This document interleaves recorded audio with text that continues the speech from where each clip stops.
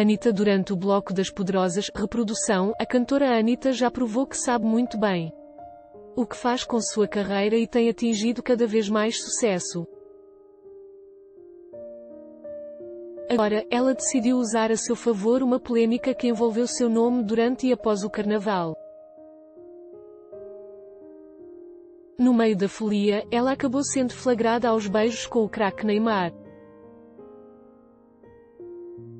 Por ele ser o ex-namorado da atriz Bruna Marquezine e ela estar presente no evento, o caso ganhou ainda mais notoriedade e ficou por dias nas capas dos sites especializados.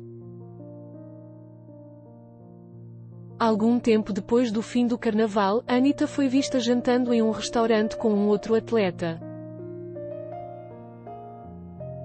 Dessa vez, ela escolheu a companhia de Gabriel Medina. Os dois também foram filmados se beijando. Os vídeos dos dois momentos foram divulgados pelo jornalista Léo Dias, do Fufcalizante, do SBT.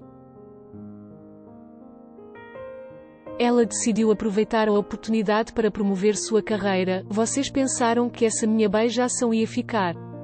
Por isso mesmo, disse ela em um misterioso vídeo divulgado em uma rede social. No dia anterior, ela publicou uma imagem com os dizeres 5 de abril que anuncia algum acontecimento ainda não revelado.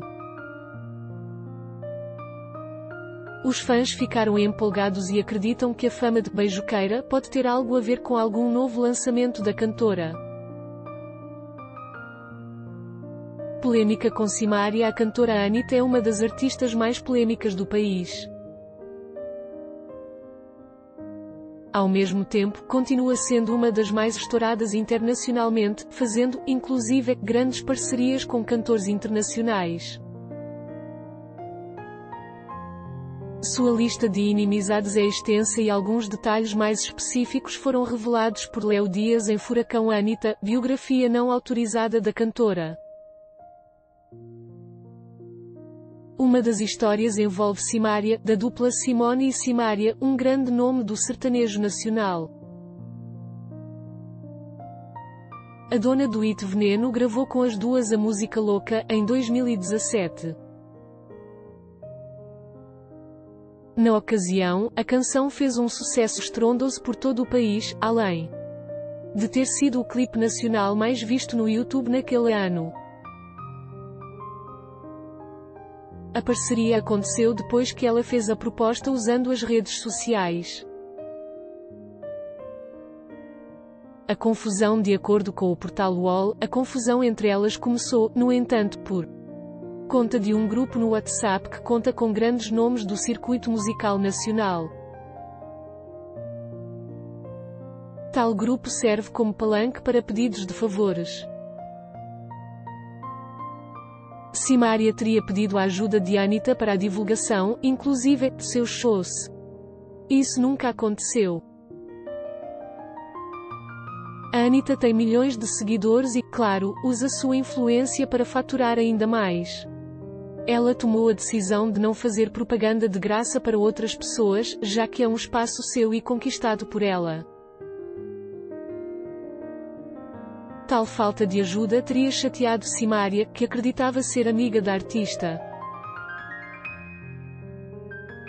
Ela, então, começou a fazer desabafos com outros artistas, contando sua insatisfação com relação aos pedidos feitos a ela.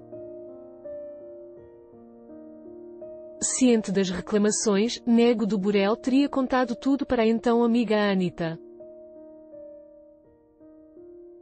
Em outubro daquele ano, as três cantoras se apresentaram juntas no Prémio Multishow. Nos bastidores, elas teriam tido uma pequena discussão.